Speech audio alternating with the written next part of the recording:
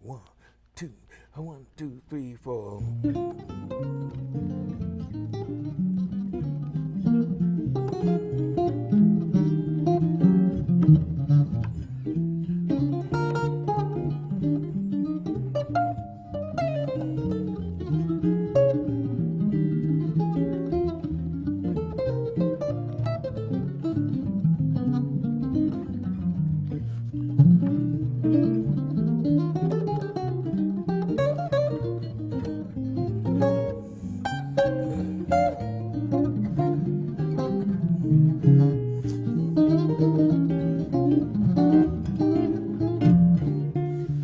We're having a good time here at the Breezin' Lounge. I'm with my friend Jody Fisher, and we just love what we're doing, keeping jazz alive, and guitar music, which is very important to us. So we hope you stick around and have some fun with us.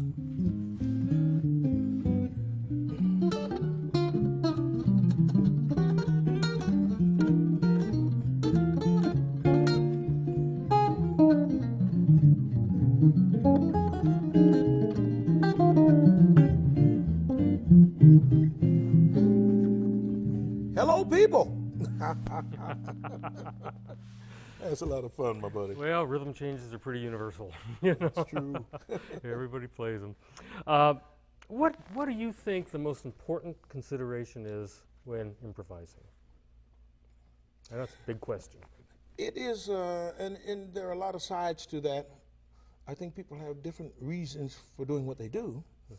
Uh, mine is to make it interesting. Uh, I don't like playing something that is predictable. I try Okay. to stay away from that, but yet be melodic enough to to be relative. And you can think about the melody to the song, you know, uh, while I'm playing, and that's very important to me.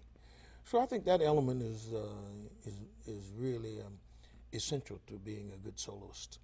Do you think it's important for people to learn a lot of songs? I, knowing a lot of melodies leads to better melodic developing development in your own solos. You brought a, a great question to mind, or a great point. Uh, how can you play a song to a person if you don't know it yourself? How are you gonna convince them of what the song is all about? And a lot of musicians do it. They just get on the bandstand and start improvising, but they don't know what we're here for. Uh, we pick a song that people, everybody should know, we'll know when they start playing that they're the only ones who doesn't know, who don't know the song. Public knows the song, Yeah. but they don't, and now that's a crime.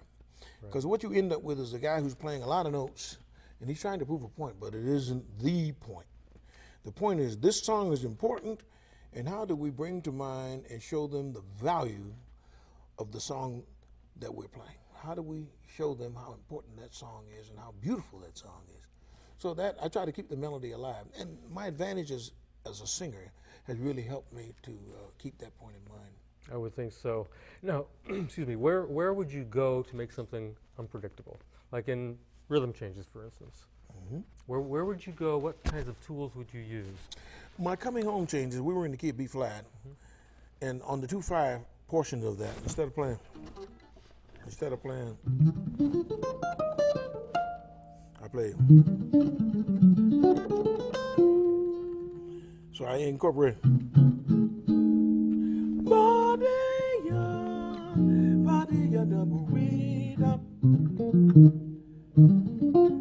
Da-da-wa-ba-da-ba-doo-ba.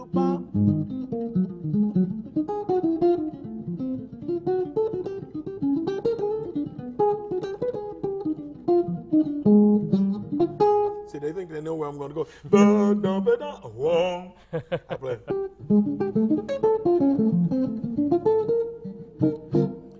So, you know, I just try to keep them guessing at where I'm going to go. But we're going to be where they want us to be at the end. Sure. You know, hopefully they'll agree with my story. You know, hopefully, you never know. But that's the the uh, the beauty of playing live. You know, you begin to feel you feel the audience out. You try to bring them along, but as long as they're interested and they're listening, Right. And that's the point. We keep their interest and they're glad they came. Now, on a slightly more technical level, it looks to me like what you're doing is thinking of all kinds of alternative changes and improvising around those, no matter what the section changes are. Is that is that what Well, see, doing? it's all relative. Okay. And my father used to tell me that, and I didn't know what he was talking about. He said, "Man, think like Charlie Parker. Your stuff is so boring." I said, "What do you mean, Dad? I mean, these are the changes. You know, we're playing these little funny little rock tunes. Oh, Sherry, oh, da, da, da, da, da, you know, that's the way the song went. I said, Dad, well, wait that's the way it goes. He said, Don't to play that crap, man. I said, What are you talking about, man? He said, Don't you think like Charlie Parker? Think chromatically. I said, You mean? He said, Yeah, that's what it does. So I tried that. I said, That doesn't mean anything, man. How you gonna play? Oh, Sherry. Oh, I know. But that's not what he was talking about. Okay. He was talking about melting the changes together. He was talking about.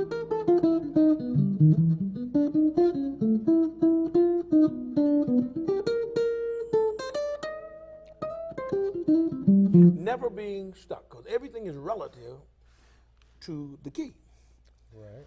See, so this, this flat third is only a flat third. It's not the end of the world. It's just, or if I go, I go.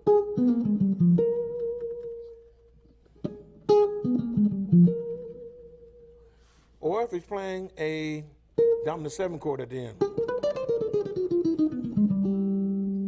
It's all relative. We're still going to get home if we keep moving chromatically. Okay, I understand saying. what you're saying. So, so melting the changes together is hooking them all together with with chromatic lines. That's what. That that is really beautiful stuff. Um, thanks, George, for that, and we'll be back with more on the similar topic.